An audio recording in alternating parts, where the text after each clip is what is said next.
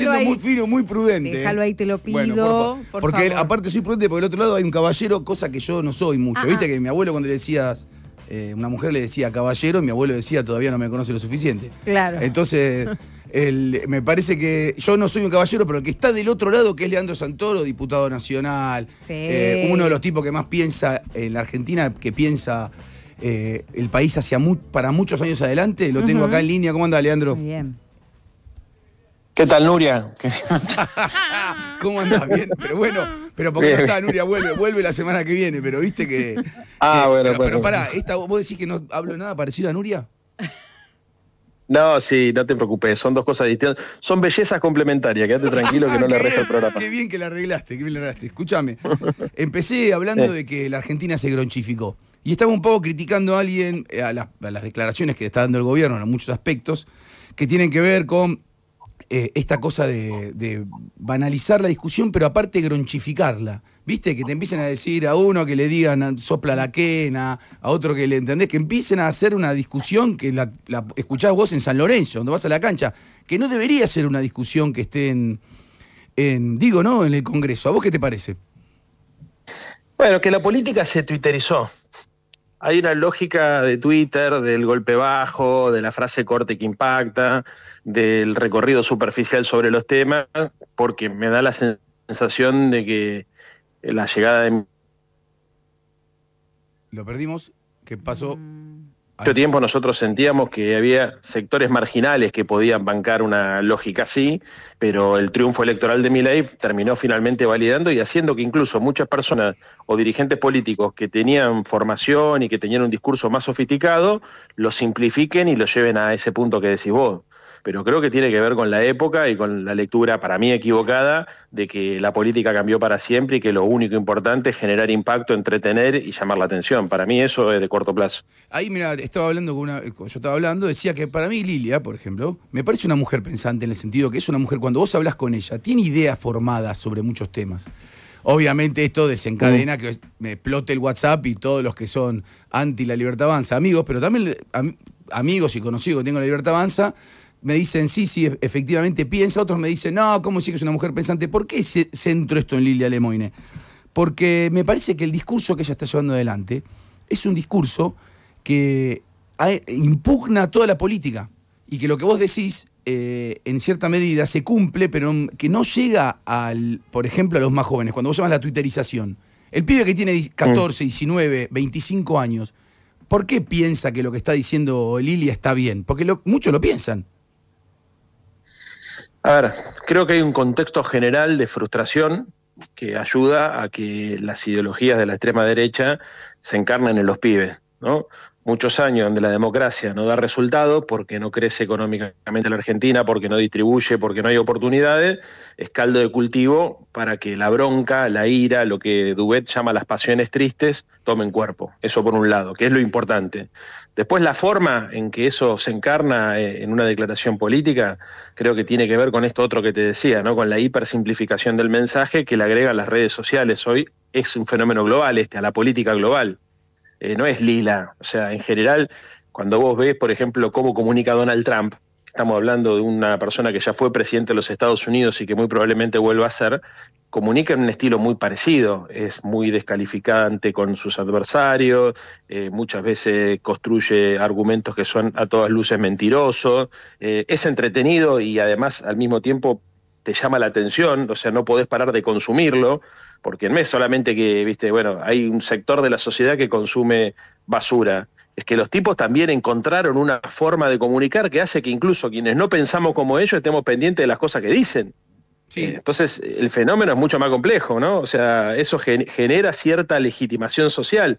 Lo que yo creo que la política lo que tiene que tratar de hacer, para no hacerte larga la respuesta, es eh, obviamente dejar que esto exista, porque yo no soy de los que piensan que hay que salir a, pontificar, ni a censurar, ni nada que se le parezca, pero hacer el esfuerzo de que también exista otra cosa para que la gente finalmente pueda elegir. Y yo creo que esto, si esto se da, será una moda, ¿viste? Y algún día nos reiremos de cuando teníamos dirigentes políticos que compartían memes para fijar posiciones políticas, ¿no? O sea, como hace, por ejemplo, Milei con los leoncitos y esas cosas, y nos llamara la atención que la Argentina votó un presidente que podía hacer esas cosas, pero para que eso suceda tiene que haber una confrontación clara con otra forma de comunicar que apueste más a las ideas y a la lógica y no tanto al golpe emocional. ¿A vos te parece bien lo que pasó con Garro?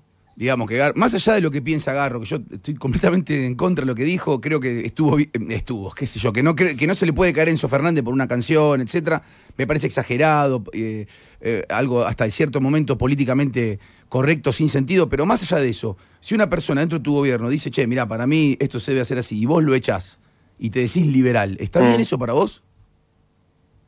A mí me llama la atención lo de Villarruel, que habla como si hubiese sido Macron el que le pidió a Messi que se retracte. Y en realidad fue un funcionario de ellos. ¿Viste? Porque está, no vamos a dejar que ninguna potencia colonialista nos marque la cancha, ni no sé qué dijo. pero a ver, que yo busqué y dije que fue la embajadora francesa, eh, fue el canciller francés, eh, fue alguna autoridad del gobierno de Francia. No, fue una autoridad del gobierno argentino. Eso me parece verdaderamente extraño. Y cuando analizás el cantito, incluso es más ofensivo con las colonias, las colonias africanas, que con la propia Francia. O sea que vos crees que vos crees que ahí hay otro. Que es un delirio. Claro, otra vez, otra vez lo o sea, todo es un delirio. ¿Me entendés? A ver, es un delirio la, épica anticolonialista. No vamos a dejar eh, que ningún país colonialista eh, nos diga qué es lo que tenemos que hacer y ahora le están subiendo otra vez la apuesta en esa línea. Pero esto es lo que te digo, o sea, es la posverdad, Ernesto. Sí, sí. Porque si vos lo ves de afuera, decís, che, ¿qué pasó acá? ¿Una autoridad francesa? No, era un funcionario de ellos. Ni siquiera era un funcionario de la oposición o de un gobierno opositor, viste, no sé, de la provincia de Buenos Aires o de alguna provincia que gobierna el peronismo. Era un funcionario que puso el propio presidente Milei. Sí, hay eh, lo entiendo y, comparto casi todo lo que decís. También hay que aceptar que, por ejemplo, ahora le quieren poner una sanción a Enzo Fernández en Inglaterra. Digamos, es indignante. Yo de eso no discuto. A ver, a ver. Eh, de fútbol no discuto. O sea, a mí yo también soy un tipo que va a la cancha, sé perfectamente que hay cosas que funcionan en el folclore del fútbol desde hace muchos años y sé las dos cosas. O sea, a mí me ha tocado como hincha muchas veces de San Lorenzo eh, cantar cantito que si lo pensás son una barbaridad y al mismo tiempo también cuando lo pienso como militante político y como un hombre público digo, deberíamos hacer un esfuerzo para no validar eh, la, la xenofobia o el racismo. Digo, qué sé yo, digamos, hay clubes del ascenso, por ejemplo, donde directamente hemos visto actitudes profundamente antisemitas, eh, algunos equipos del ascenso, y todos saltamos como corresponde a denunciar que no puede una, eh, una hinchada de fútbol, no sé, tirarle jabones, por ejemplo, a un equipo rival, como ha sucedido en la Argentina. Al Boys. O llevar la bandera de Israel y... Lo, digo directamente, al Boys. Vos estás hablando al Boys. Eh, pues digo, digo para que, lo digo ah, claramente porque capaz que los del otro lado no son futboleros y no lo saben, digamos, por eso digo, al Boy contra Atlanta. Ah, bueno, y también Ichaca y lo hizo 20.000 veces con Atlanta. por eso, por eso. lo que quiero decir es, y eso está mal y todos nos pronunciamos y es lógico. Pero bueno, pero son cosas eh, que uno tiene que saber cuáles son los roles. O sea, mi rol como dirigente político es tratar de poner el foco en lo importante. O sea, obviamente yo no voy a hacer ningún comentario sobre lo que hizo Enzo Pérez, porque entiendo en el contexto que se dio y no me parece que me corresponda a mí. Lo que te digo es la vicepresidenta de la Nación tomó lo que hizo un funcionario de su propio gobierno como si lo hubiese hecho un funcionario o de la oposición o incluso del gobierno francés. ¿Te das cuenta? O sea, porque las, declaraciones, ellos construyen un hecho político comunicacional sobre algo que en realidad deberían dar explicaciones ellos, porque Garro finalmente lo designó Milei y no lo designó, no sé, eh, Cristina Kirchner. Pero no ves, sí, eh, ¿no ves también que eso es un síntoma de lo que está ocurriendo dentro de la libertad avanza?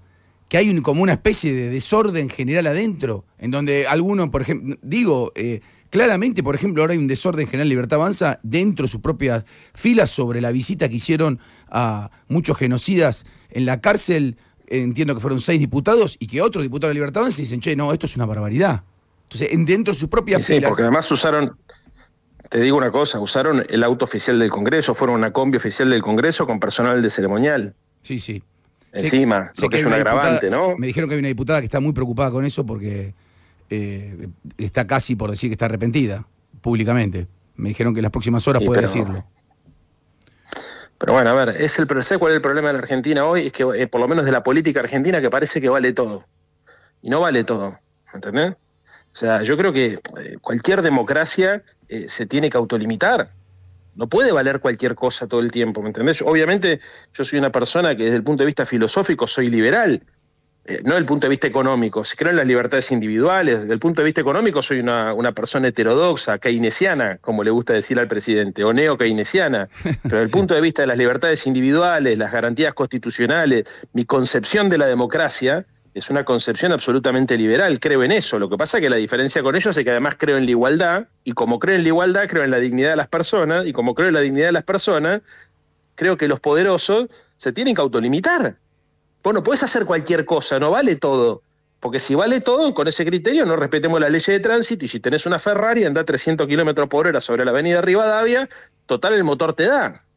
¿Por qué va a venir alguien a decirte, no, señor, eh, la velocidad máxima es de 60 kilómetros en las avenidas? Si el auto me da, ¿para qué me compro una Ferrari? Si el auto me da para ponerlo a 300.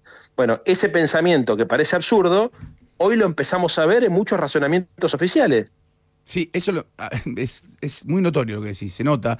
Y incluso se nota eh, que ponen problemas al ala más, si vos querés, prudente y racional del gobierno. Digo, porque Francos tiene que salir a explicar todo. Cada vez que se comete, se comete en esta. Por eso, la pregunta también sería que vos sos un hombre de diálogo con, y dialogas con todos. Esto hay que decirlo, me parece que el futuro de, la Argentina es ese, el diálogo. Eh, ¿Cómo está viendo el diálogo dentro de Unión por la Patria? porque Unión por la Patria también es una fuerza que está totalmente resquebrajada. A ver, la política, el sistema político hoy está muy desorganizado. No hay algo que sucede en Unión por la Patria que no suceda en el PRO o en el radicalismo o en las otras fuerzas provinciales. Sucede, lo que sucede adentro de nuestro espacio sucede en todos los espacios políticos.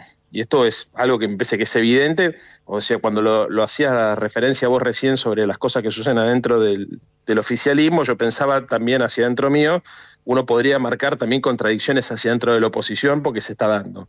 Y yo creo que esto lo tenemos que analizar desde un punto de vista institucional, o sea, los partidos políticos en la Argentina no existen más, es un error, tiene que haber partidos políticos, al no haber partidos políticos, hay solamente liderazgos personales, hay una conducta hiperindividualista de parte de cada uno de los referentes políticos, lo único que busca es posicionarse o buscar una ventaja personal, y eso genera todo este descalabro que estás describiendo vos o que podemos analizar en cada una de las instancias de la vida pública de nuestro país.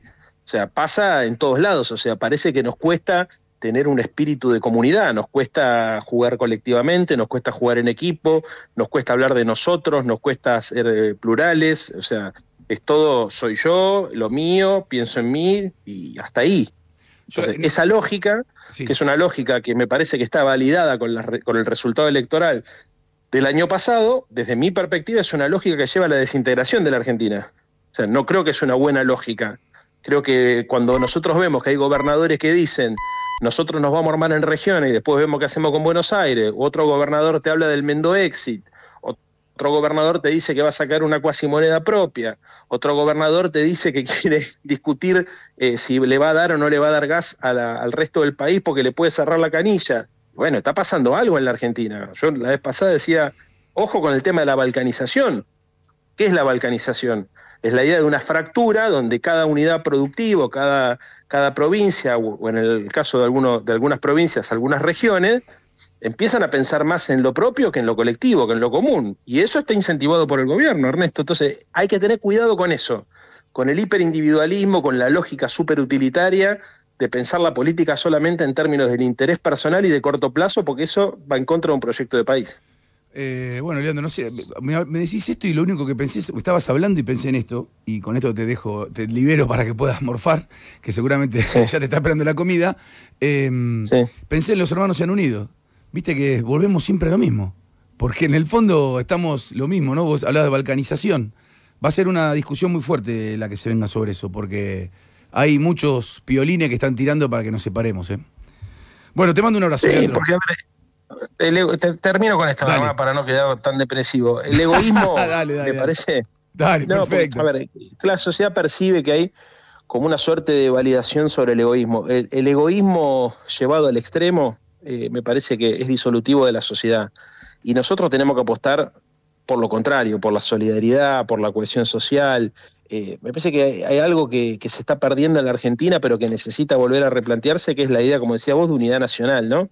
No puede ser que lo único que nos una sea la selección. A, ver, es emocionante, porque por otro lado, cuando vos ves cuando la gente se junta a festejar la Copa del Mundo, 5 millones de personas, viste, decís, puta, qué lindo ser argentino, la creatividad, la ves a la selección levantando por segunda vez la Copa América. Ahora, eso que nos genera alegría, que nos genera tranquilidad, porque de, hecho lo que hace es que nos sintamos menos solos, hay que traducirlo también a otras cosas, no solamente al deporte, ¿me entendés? Hay que traducirlo, por ejemplo, a la, economía, a, una forma de organizar la sociedad, a una forma de distribuir la guita, el excedente económico, qué sé yo, creo que hay que apostar a eso. Y si la gente que está escuchando en casa tiene un minuto para reflexionar, pensemos solamente cuando somos más felices, cuando estamos solos o cuando compartimos y estamos acompañados. Sí, señor. Te mando un abrazo. Abrazo. Un abrazo.